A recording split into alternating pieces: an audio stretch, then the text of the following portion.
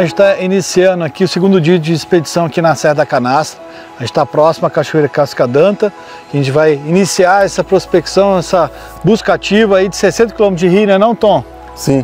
É, hoje a gente vai dar, vai percorrer mais ou menos uns 10 km desses 60 quilômetros, né? Que vai e ser a, a pé. E a pé hoje, dentro hoje de rio. Fazer de fazer busca ativa de um casal que eu venho monitorado, monitorando aí há um tempo. Ontem a gente viu um indivíduo, mas a gente não sabe se ele é um macho, se é, se é a fêmea, é. se é um indivíduo que está perdido nesse território. E a gente vai fazer essa busca ativa para a gente tirar essa dúvida, porque trabalhar com pato é, não é tão é. fácil assim, né? A gente tem que tirar essas dúvidas aí, então por isso a gente vai descer a pé aí hoje. Então a gente vai iniciar esse trecho, são 60 quilômetros que a gente tem para percorrer esses dias. Então parte vai ser a pé, parte vai ser de caiaque. Então embora. Bora lá, né? Bora lá. Isso aí.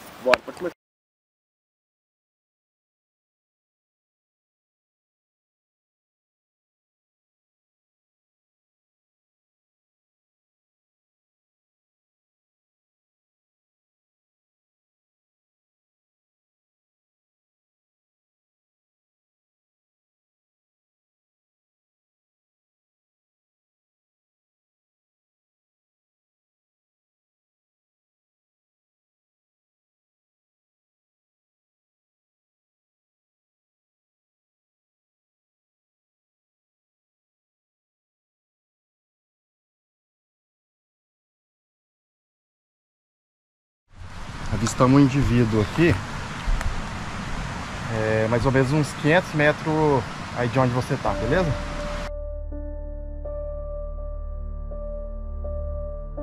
Tá os dois. Tá os dois? Tá os dois. Tá os dois, tá os dois. O casal.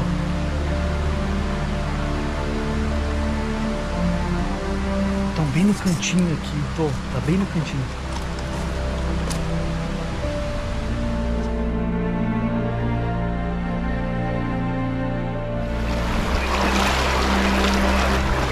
Acabamos de acabamos de atravessar o rio para analisar os paredão aqui do outro lado, na outra margem, ver se há possibilidade de ninho por aqui.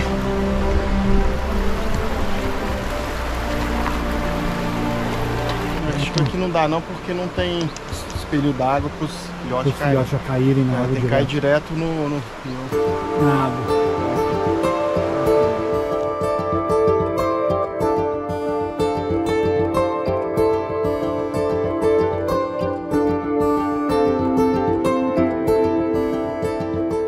acabamos de encontrar um casal. A gente vai ficar escondido aqui. O Tom tá monitorando. E aí a gente tem que ficar camuflado aqui, escondido, para não alterar o comportamento natural da, da espécie. Aí um casal aqui. O procedimento é, é acompanhar os bichos a longa distância, para ver qual, qual é o comportamento deles né, nesse período porque geralmente a finha nesse, nesse horário ela fica dentro do ninho. E pelo horário agora são 9h37, a fêmea está fora do ninho. Então a gente vai acompanhar para ver se é uma fêmea nova no pedaço, né? Então quando é isso significa que ela, a maturidade sexual dela ainda não está totalmente né, apropriada. Então a gente vai, vamos acompanhar e ver o que, que vai dar.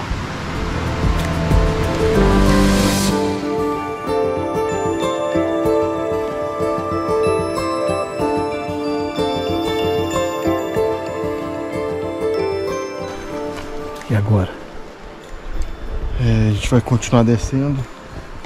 Olhamos alguns pontos aqui para ver se tinha ninho, é, algum oco de árvore ou algum buraco né, nas, nas, no barranco de terra aqui, mas nada.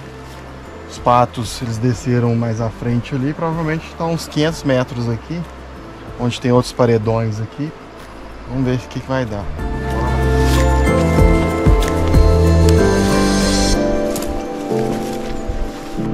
A gente tem que ir bem devagar para a gente não assustar o pato mergulhão e não alterar o comportamento dele. Então, a gente anda um pouco, para, visualiza e vai bem escondidinho na margem aqui. Vamos embora.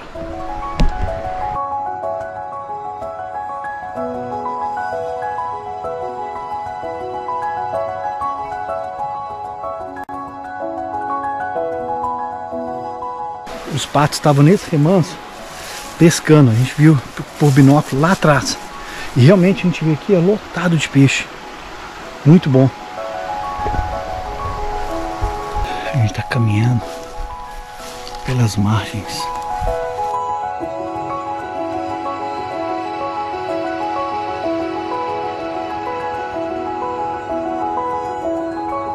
Aqui a gente está escondido na margem, tentando achar o, o, casal. A gente avistou lá de cima um casal. Agora a gente está descendo pela margem, bem escondido, para tentar localizar esse casal. Tem que falar mais baixo. E aí, Tom? Bom, então, é, uns, um binóculo aqui mais uns 100 metros. Não estou avistando o casal, provavelmente deve ter descido o rio aí. Vamos continuar na busca ativa aí dos bichos para ver o que, que dá, né? Então, gente, não é fácil esse trabalho, achar o pato aqui. Esse trabalho incessante, a gente fica descendo o rio. Exige paciência. Paciência. Muita paciência. Não é fácil não. A gente embrenhar no meio da mata aqui, é ficar descendo o rio várias vezes, até encontrar o pato mergulhão e principalmente o ninho para o nosso projeto aí, junto ao Zoopark, ao PAN, para a gente fazer a reprodução sob cuidados humanos né, para a gente tentar ajudar, tentar tirar o animal do risco da, da extinção. Vamos lá.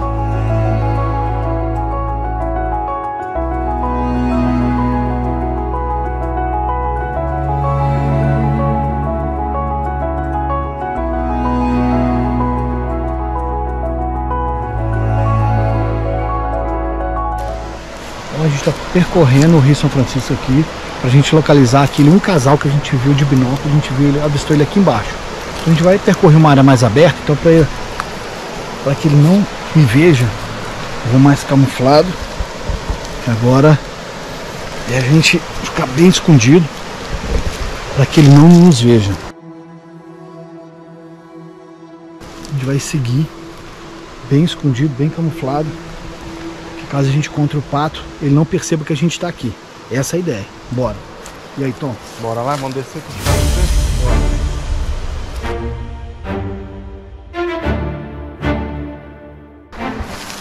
Avistamos um indivíduo aqui sozinho, então tem grande probabilidade da fêmea ter entrado no ninho.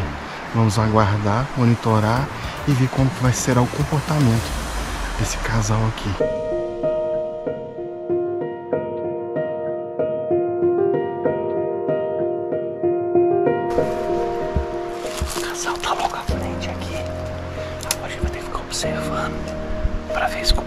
Se a verma vai entrar no ninho ou não.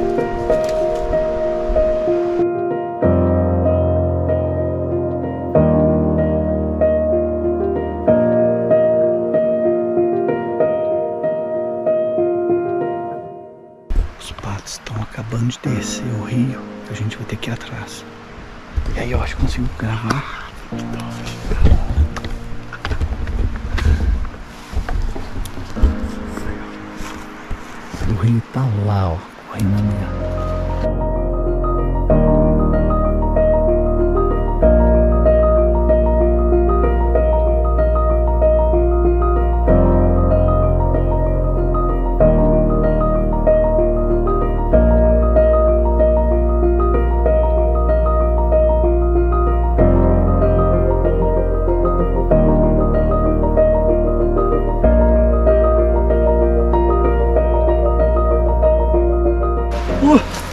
Conseguimos localizar um casal aqui. Deu para acompanhar, monitorar o comportamento.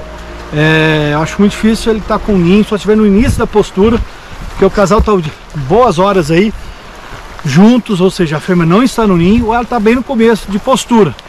Então agora a gente vai continuar a prospecção pelo rio. A gente vai descer agora de bote, uma parte boa aqui do Rio São Francisco, para chegar na área de um terceiro casal terceiro casal que tem lá embaixo.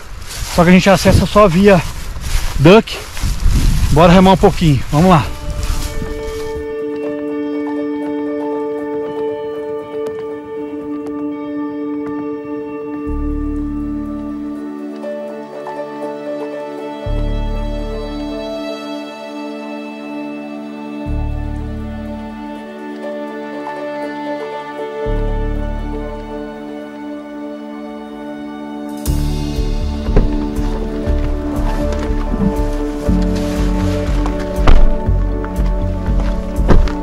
Agora a gente vai começar o segundo trecho aqui hoje.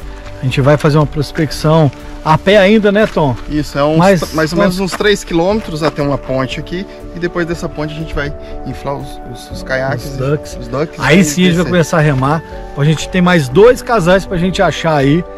Diz o Tom que tem dois casais, vamos embora. E o casal que a gente avistou é, anteriormente. anteriormente tem probabilidade de não ter ninho, por ser um casal jovem mesmo, pelo comportamento que eles apresentaram. Então, infelizmente, aí não tem ninho nesse território. Então a gente vai descer esse outro território aqui e cruzar os dedos para Vamos lá atrás mais pato mergulhando. Vamos lá.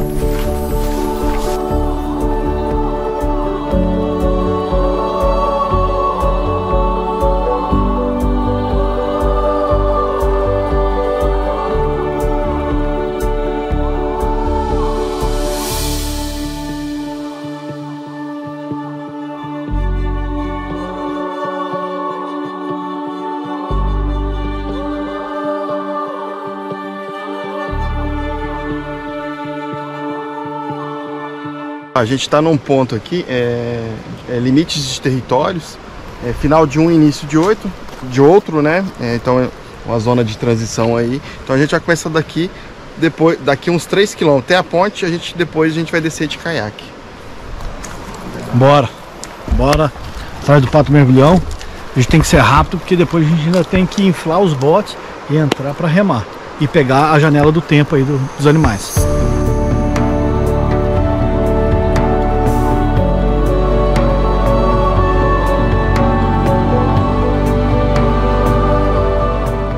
Dos trechos que tem um cas mais um casal que o Tom monitora aqui. A gente não está visualizando ele ainda, mas é uma área muito, muito linda, muito peixe. Mostrar.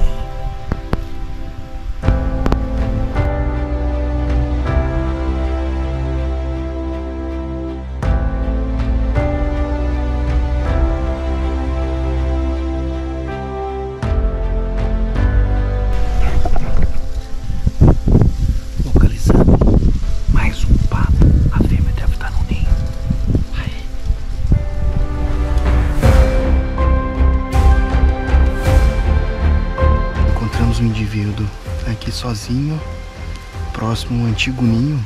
Então tem probabilidade aí de, do casal ter utilizado esse ninho, né?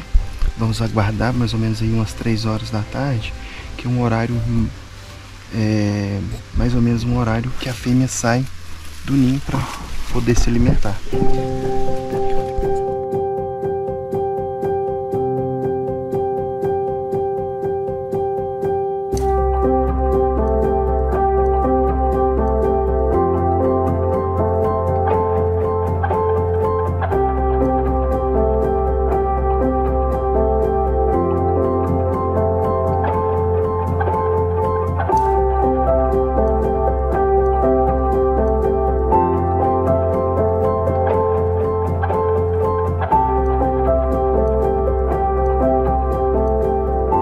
Bom, a gente conseguiu confirmar o primeiro ninho ativo aqui na Serra da Canaça. Aí, Tom... Isso aí, primeiro de 2023, a primeiro confirmado aí. A fêmea saiu do ninho agora, então a gente confirmou.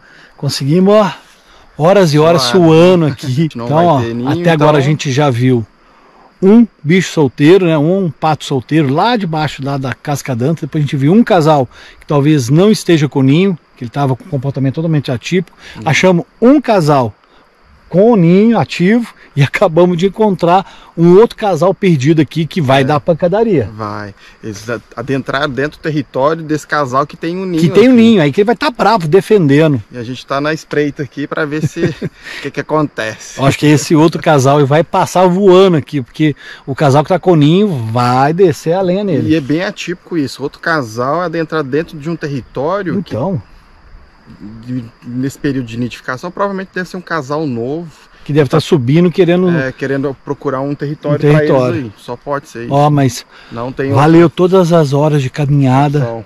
todo o suor aqui escondido, horas e horas aqui no meio do mato. Aí, É Tom, isso aí. acompanha aí.